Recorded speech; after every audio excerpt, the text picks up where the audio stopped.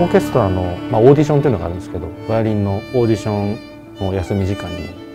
僕からなんかユニットみたいなの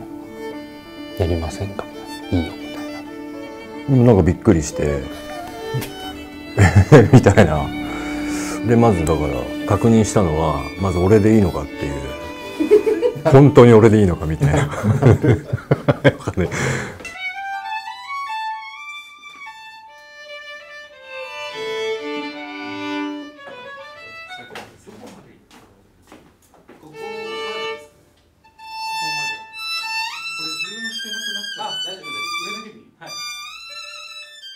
もううちのリーダーリーダーなんです足向けて寝れないぐらいの大先生なんでもう年とかじゃないキャリアっていうかなので。えでも実際離れてるのえ石田さんとさきや君よりさきや君と僕って離れてますか？離れここが一番離れてる。と思う一よ回りちょうど？んいやいやいや10今34ぐらいでしょ？三134離れてるから。俺え石田さん40と？俺47だから。今めっちゃ若いですね。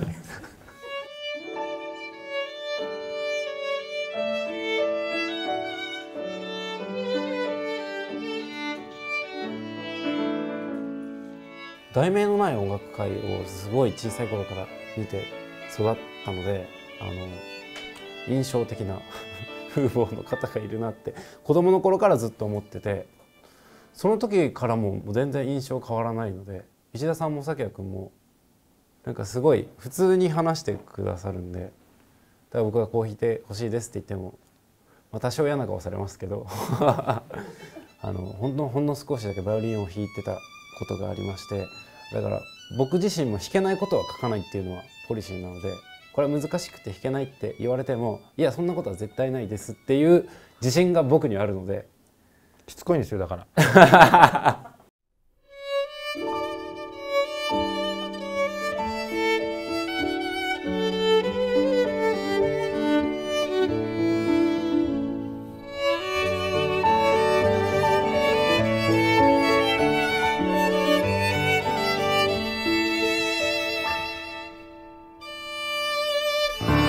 自然に覚えちゃうような旋律をまず書こうと思いましてなんかこ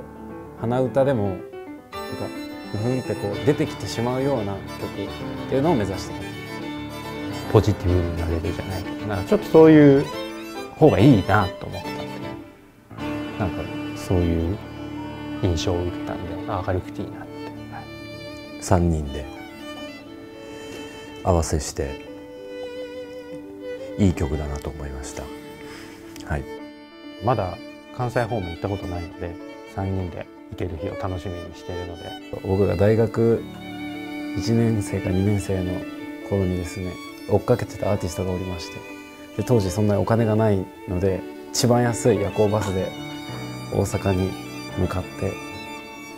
モーニング娘。ちゃちゃちゃちゃちゃ、まあ後で言いますね。それでもう本当もう右も左も分からず朝6時に着いてそしたらその駅員さんがめちゃくちゃ優しくて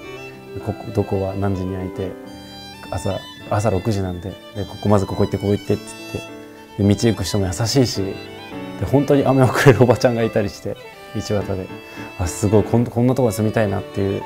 思った記憶があります。まあそんな関西の方のその生活の中に音楽で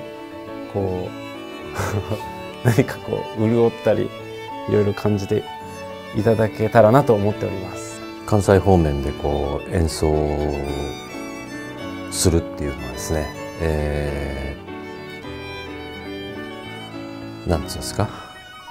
まあ、個人的に僕好きなん好きという、まあ、お客あのお客さんのやっぱりこう東京のお客さんと関西のお客さんってちょっとやっぱ違うんですよね。なのでなんかその関西のお客さんの前で早くこのうーん3人のユニットをぜひ、えー聞いていただきたいなっていうことですかねだからうん早くやりたいですね。